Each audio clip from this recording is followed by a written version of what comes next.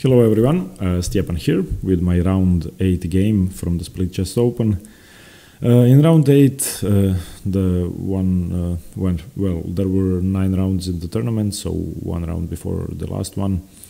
I faced an opponent about 250 points higher rated than I am, 2100, and uh, I could prepare for him. Finally, somebody strong enough, uh, and I had a lot of games of his online to, to look at.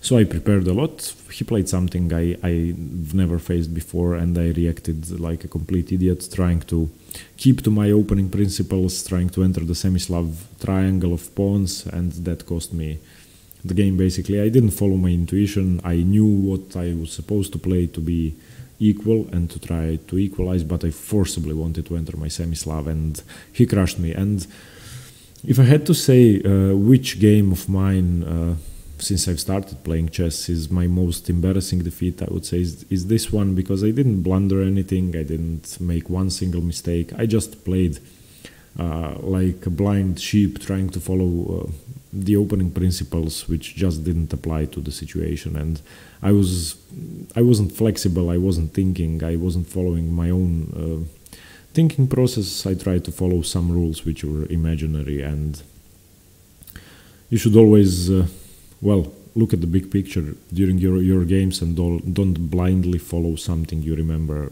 because that could cost you the game. So let's see. Uh, he opened with pawn to d4, d5, c4, c6, knight f3, knight to f6. Sorry for this. Uh, and here he played queen to c2 and uh, by the way I'm going to run the engine analysis at the end of the video as always to see where I went wrong but I I know where I went wrong because I realized it uh, at move 10 or something so here I have the opportunity to play the move bishop to g4, bishop to g5, sorry, and after bishop to g5, if knight to d, if knight to e5, then bishop to h5 is okay, and I can play bishop to g6, getting my bishop outside of the pawn chain. I can also take on c4, which is a move I know, which is a move I've played, which is a move I've, I've familiarized myself with, and still I decided to play the move e6, which it's just too passive in this position. It can be played. I can enter my own position, which I know how to play, but considering what he played afterwards, this move and the plan I played was a mistake. g3 here.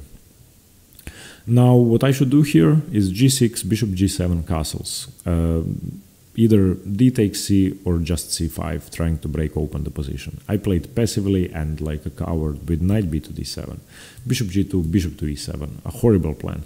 I, well, I agreed with my coach, with my friend, a FIDE master uh, that trains me sometimes, that I was going to uh, I wasn't going to play bishop g6 fianchetto positions uh, against uh, pawn to d4 c4 and I was going to always try and enter my semi-Slav triangle and play the positions with the bishop on e7 or on d6 so I followed that in this game even though I knew that bishop g7 would be a better idea. Castles, castles, knight b to d2, rook to e8, too passive. White surely has an advantage here because he has time to play e4. And now I have to take, d takes, knight takes, knight takes, queen takes. Here I thought for about 20 minutes, trying to calculate all the variations. I really didn't like my knight on, on f6, and I didn't like the fact that he can play b3, bishop b2 and pressure me along this diagonal. So I, in the end, I played bishop to f6. Uh, knight to e5. And now uh, when I was calculating bishop to f6, um, I decided to play the maneuver knight f8, knight to g6, which the engine will say whether it's sane at all. I don't believe it is. So knight to f8, bishop to e3, bishop to d7, rook f to d1, knight to g6, offering a trade which, well, I hoped he was going to take because this knight is a monster on e5 and I can never take it safely. You can see that I'm playing a, piece down basically. Compare his bishop to mine and um, everything is clear in the position. He has time to play f4 here, queen to c7, rook a to c1, rook a to d8 and now b4. He's completely crushing me. He's better in the center, he's better on the king side, he's better on the queen side. He has a better knight, he has better bishops, his queen is more active, his rooks are more active, his pawn structure is better. His king is arguably equally safe as mine, but that's irrelevant in this position. So here I decided that I do have to do something I have to do something, so I gave up my bishop pair for the very strong knight, so bishop takes e5. d takes c5 and now b6, trying to prevent the move b5 or c5, and trying to put my to put my uh, bishop on a6, bishop c8, bishop a6 to get at least some activity. Rook to d4 here, which is a mistake. Finally, a mistake played uh, because now I get to play knight to e7, sufficiently defending my pawn here, and now I'm threatening to to grab his bishop. Here's dark, dark squared bishop, and then to play c5, and then to play bishop to c6 after rook to c8, saving my position. So he wast wasted one tempo with rook to d3, and this move, rook to d4, was I think his only mistake in the game. Uh, so I played bishop to c8, trying to play bishop to a6, rook c to d1, and now an absolutely horrible decision to exchange the rooks and give him the file. Uh, for some reason, I thought he was going to recapture with the rook.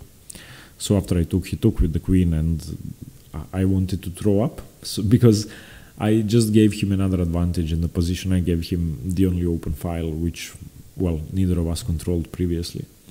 Bishop to a6 king to f2 uh, and now I was calculating the move knight to d5 which looks nice but doesn't really do anything. He can either play bishop to d2 or he can simply play a3 and after knight takes e3 king takes e3 I'm actually helping his king enter the position. So nothing major with that move so after king to f2 I decided to play knight to f5 which uh, the engine will say whether it's better or worse than knight to d5 he played queen to d7, of course, uh, using the fact that my back rank is weak, that my a7 pawn is hanging, that he can do whatever he wants in the position. So queen d7, rook takes d7, knight takes e3, queen takes e3, and now I'm just losing. I wanted to resign here, but I played on for a couple of more moves. Bishop takes c4, bishop takes c6, uh, b5 here, trying to save my position. Uh, yeah, so rook takes a7, rook to d8, uh, rook to a8, exchanging the rooks and winning.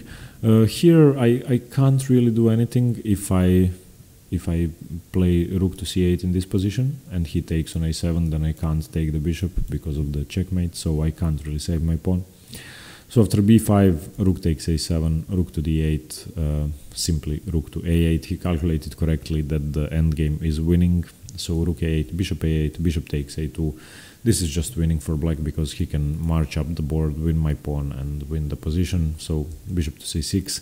I don't really have time for this, for, for bishop to c4 because he can win the pawn anyway. I have to try and march my king up the board to, to save myself. So king f8, uh, king d4, king to e7, bishop takes b5, king to d8, bishop to c4, I can't exchange the bishops, of course. The pawn endgame is busted, so bishop to b1, and here I resigned with my own move. I didn't want to play this any further. There's no way to save the, this position, even though uh, bishops of the same color are sometimes, uh, well, you can sometimes draw being a pawn down, but this position always favors the side on the attack, and you can see that my king is on the 8th rank, his king is in the perfect position the, in the middle of the board and all of his pawns are on dark squares so I can't really attack them. He can attack my uh, h7 uh, pawn so just losing. Okay let's turn on the engine now okay d4 d5 c4 c6 this is all okay after queen to c2 dc4 is the best move which I know e6 is okay after g3 yeah now I pretty much have to take. Let's see whether g6 is okay. g6 is also okay. No, it's not. Why? Hmm. Okay, perhaps I was wrong. After g3 knight b to d7 is a slight advantage for white. Bishop g2, bishop e7 is correct. So, okay, g6, bishop to g7 wouldn't work here. Okay, let's see once more. g6, castles, bishop to g7. Why is this so much better? Bishop f5. If I castle here, he has more than one point advantage. Well, I guess my dark squares are too weak. So after bishop to g2, bishop to e7 was actually correct. Castles, castles, knight b to d2. Rook to e8, a horrible mistake allowing e4. I should have seized the moment to play c5 here. And after dc5, knight c5. b4, knight here. Yeah, okay, so yeah, just a bad decision not to play c5 when I had the time, and I, I saw c5, of course. I wanted to play e5 actually for some reason, but now e4, d takes c4, knight takes c4, knight takes c4, queen takes c4, e5 now. Why? e5, knight takes, knight takes, pawn takes, bishop here, bishop here. I'm just a pawn down. Why would I want to play this position? Okay, my bishop is developed, so I guess it's much better to be a pawn down with an active piece than equal on pawns with a dead piece. A logical uh, decision by the engine. So after queen takes e4, I played bishop to f6, which is plus one for white. Ugh. 95. c5, once again, uh, I should have played this, but I didn't. But I, I, I didn't understand the position after this knight takes queen takes and pawn takes here. Once again, I'm giving up a pawn, so I don't see the point of that, and it's plus one and a half, so... Okay, knight to e5, knight to f8, ah, equally bad. Bishop e3, bishop to d7, rook f to d1, knight to g6, bad. f4, queen to c7, rook ac1, rook a to d8, b4. Oh, my position is so bad. I, I can't do anything. I felt so hopeless and powerless during the game. I just can't do anything. So bishop takes e5. Another mistake. I should have played bishop to e7. So what? After bishop to e7, knight takes, pawn takes, c5. I'm still dead b4, bishop takes e5, d takes e5, b6 is correct, uh, rook to d4, knight e7, my only chance in the position, c5 here, yeah, killing my bishop completely, rook to d3 though, uh, bishop to c8, rook c to d1, rook takes, ah, queen takes, bishop a6. Yeah, my, my position is just lost. Let's just see this move. Uh, wait, uh, knight to d5. If he plays bishop to d2, then I put my knight back, which is too passive. Let's say he plays a3, then c5, pawn here. Don't I just lose a piece? Oh yeah, I don't because I can interpose this. This is actually a good position now, finally. A playable position at least. I still... Well, I'm not losing a pawn at least, after queen to a8. Hmm. I, this is actually playable. I mean, it's better for white. It's plus one, but perhaps I could have held the draw in this position. So yeah, uh, definitely after king to f2, knight to d5 was a better try than knight to f5 what I played. This just allows this winning combination for him. Yeah, no point in looking at this any further. Uh, so yeah, just just a horrible game. I mean, I, I played I think below my level. I and I I was aware of that during the game. And I just gave him too easy a task in defeating me which is bad. I, I should have I should have been braver braver and played something I intuitively wanted to play instead of following some opening principles so yeah uh, lessons to be learned from this game uh, if you know something is theoretical and you can't really enter it comfortably in a position, try to adapt yourself to the position and play what you know is better, which I should have done in this game. Okay, uh, thanks very much for watching. I hope you got to learn something from this game. If you play the semi-Slav with black after queen to c2, be aware of these uh, sort of Catalan positions with bishop uh, g2. And yeah, uh, final round I'm going to cover tomorrow, the round uh, 9 game. And uh, thanks very much. Stay tuned for more chess and uh, see you tomorrow. Bye bye.